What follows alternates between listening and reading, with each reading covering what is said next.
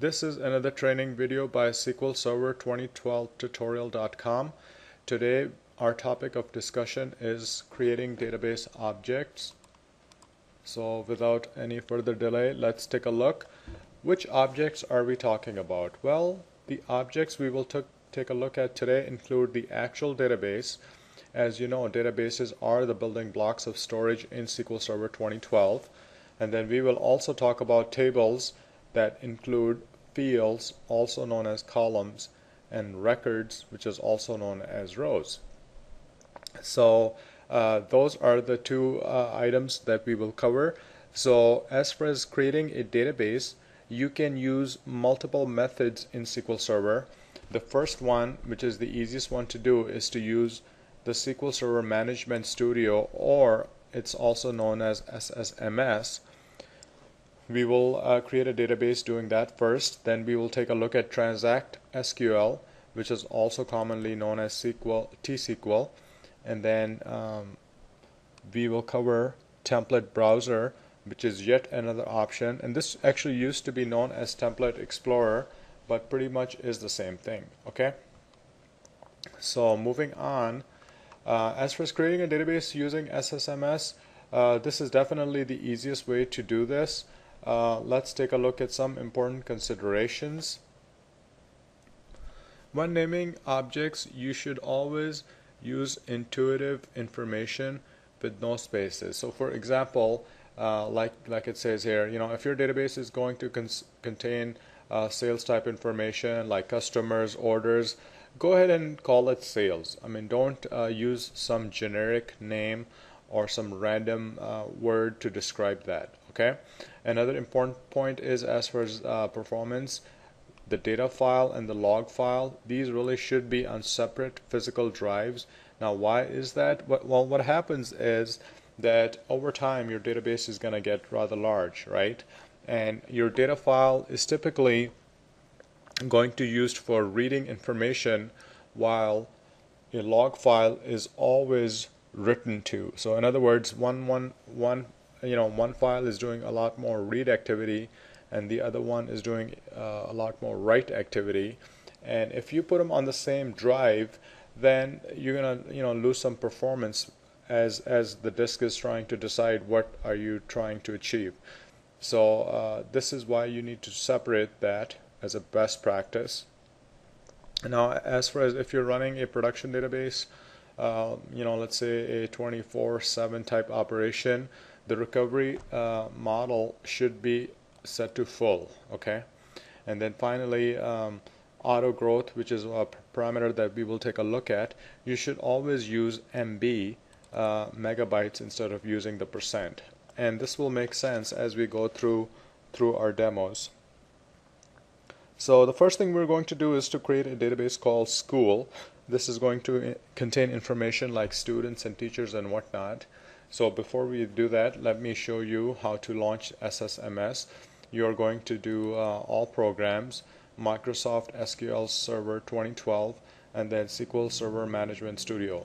By the way, uh, you will notice uh, that I will switch uh, between SQL and SQL. Uh, either one is fine. I uh, prefer using SQL, but I will go back and forth between them. so once I launch this, it's going to ask you which server do you need to connect to and I'm running uh, SQL Server 2012 on my local box. Uh, in your case you know you may be running uh, this in your company so you will have to connect to your proper uh, server I guess. And then once you're in in your instance the next thing you need to do is you need to go to Object Explorer database and then new database okay? And then you enter information like file, location, size, and whatnot. So, so let's go ahead and do that. We are going to switch gears. Uh, I'm going to go to Start, All Programs, Microsoft SQL Server 2012, and then Management Studio. Now, as it launches this, uh, it is it is going to ask you, uh, you know, what uh, there there are two two important things. First of all, you need to choose what server type are we connecting to. Uh, in our case, we are choosing database engine, but uh, be mindful that you can connect to other things like reporting services integration services and we will cover those at a later video but for now we are going to connect to database engine and uh, server name in our case we're just using a period which means it's connecting to my local machine you you could possibly add a machine name in here if you have that. You could even add a uh, IP address or something along those lines. Some people do that but for me it's uh, it's my local machine. I am using Windows authentication. Another option is to use SQL authentication which for now we're not going to use. And then I will simply hit connect. Okay so now we are in management studio and this window here is called object explorer. There is another one uh, which is known as registered uh, servers uh, where you can organize uh, your servers. We will uh, primarily be working in object explorer.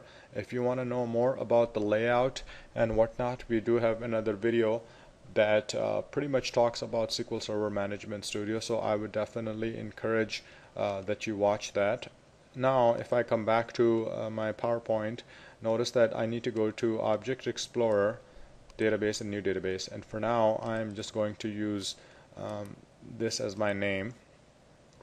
So uh, I go to uh, the database tab okay?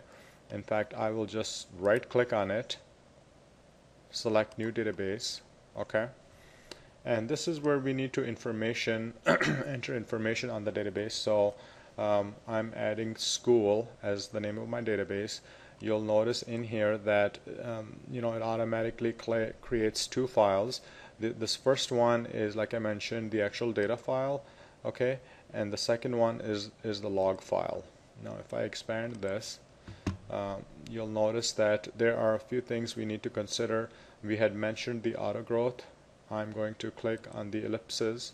And um, this is what I was saying that instead of percent it's better to use megabytes and what happens is as your database grows big you want to uh, include it by increments okay so let's say maybe your database is 10 gigs okay and if you're trying to add it by uh, by 10%, you know, that is one gig at a time, which is a huge amount of space. So we prefer to do, uh, or it's best practice to add, you know, in megabytes for now. I'm okay with unlimited. Uh, this is not something you should um, do as far as in production environment. And then I'm also going to change the setting for my log file. Going to use megabytes again and then you know let's go ahead and use 100 megabytes okay we'll leave unlimited now as for his path you'll notice that again I am using a C drive in my case um, you know this is not the preferred location. Uh, if this was a database server you should definitely be seeing multiple drives in here. Uh, in fact it's not uncommon to have uh, you know program files for SQL on C uh, data files on D, log files on E and whatnot. But um, I'm just doing a demo so I will I will leave those as is uh, you could uh, feel free to look under options I'm not really going to change anything um, one thing I did want to make sure that I'm using a recovery model of full and uh, we will cover that in a separate video but um, uh, file groups again I don't need to change anything in here and then I will click OK. So just like that, we have created our school database. If you expand this node, you'll notice that we have uh, several different options. So let's go ahead and take a look at the tables. You just click on the plus button and notice there are no tables in here as of yet.